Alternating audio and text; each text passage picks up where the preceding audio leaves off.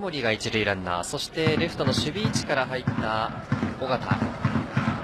育成の尾形が初打席を迎えます。いいバッティングです。長い足で三森が三塁までスピードを上げていきました。素晴らしい素晴らしい、うん、ファーストスイングでした。もう僕には育成には見えないです。ね。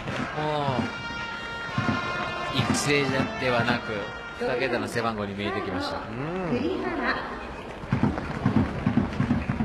何かこう久保監督ベンチで見つめる表情も感動しているようにすら見えましたね。えーファーストスイング目で、えーヒットにするってそしてなかなかできるもので三塁ランナーが帰る。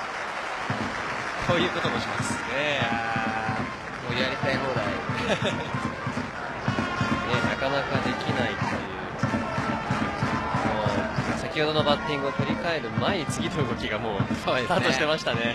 いやでもこういうねあの足を絡めた攻撃っていうのを僕はあのやっぱり求めていきたいなと見てる